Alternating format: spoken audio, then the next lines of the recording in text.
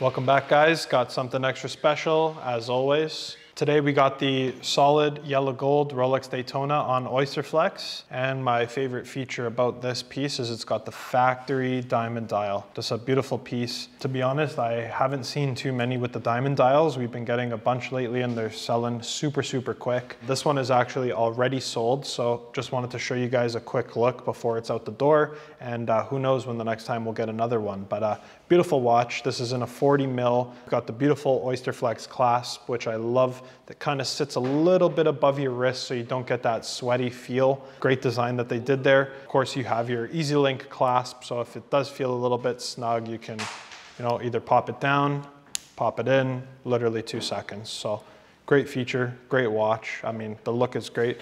Everybody knows Daytona is the pinnacle watch, so especially to have it done out like in a feature like this is just that little bit extra mile that I think just makes this watch and this brand so great altogether. Wonderful customer, great home that this is going to. So definitely good energy going from place to place. So I'm very happy. And uh, if you're watching this, congratulations.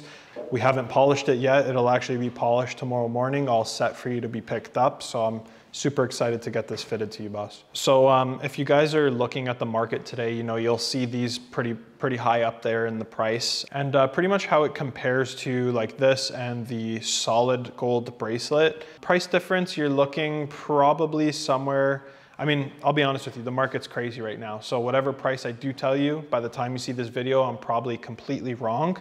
Um, but right now I see the market difference in these about 15 to 20,000. It's just a personal preference type of thing. What you could always do is um, you could get that solid gold Daytona and put it on uh, Rubber B. We are sponsored for Rubber B if you're ever interested.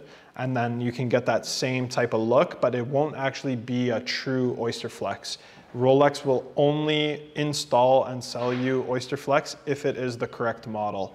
And uh, the reason that is, is not a lot of people know, it actually has to do with your uh, lug casing. So this little uh, gold piece actually is removed on the full gold bracelet, whereas on the Oyster Flex it stays to give it that extra little bit of touch.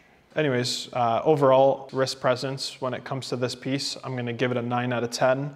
I'm not a huge yellow gold guy, you guys know that from the past videos, but I love this watch. The ceramic on the yellow with the black really makes it pop. Um, it's beautiful. You're gonna see it featured on our channel. Hopefully, again, soon if we get this or any variation like it, but um, definitely a pinnacle piece and everybody who's collecting, you should always have a Daytona in the collection. So keep that in mind while you're shopping. Overall rating, I'm gonna give this watch a nine out of 10.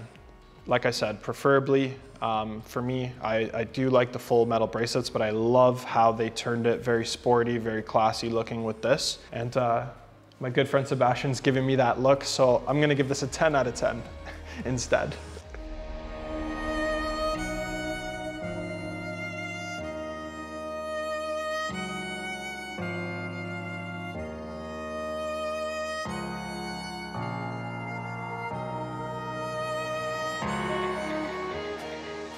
So like I said, guys, um, this one today is sold. Just wanted to feature it on our channel so you guys could get a good look at the stuff that we do get in stock. If you are interested and we don't have it in today, you can always give us a call. We'll get it sourced for you.